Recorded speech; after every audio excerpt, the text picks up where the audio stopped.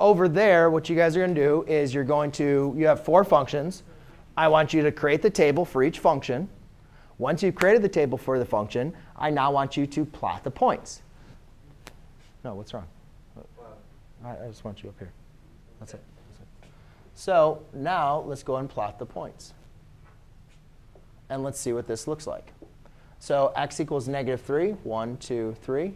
X equal y equals 16, 1, 2, 3, 4, 5, 6, 7, 8, 9, 10, 11, 12, 13, 14, 15, 16. Right there. Negative 2, 9. Negative 2, up 9. 1, 2, 3, 4, 5, 6, 7, 8, 9.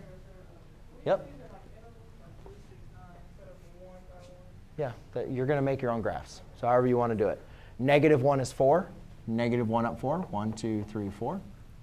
Uh, do notice, though, that your, um, on your tables over there is only going to go to negative 2 to 2. It's not going to be this broad. So you won't have as many points.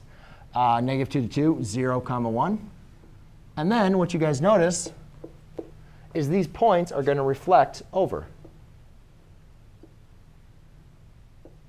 And then we simply graph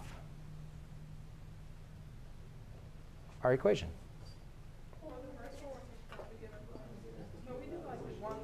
Yep.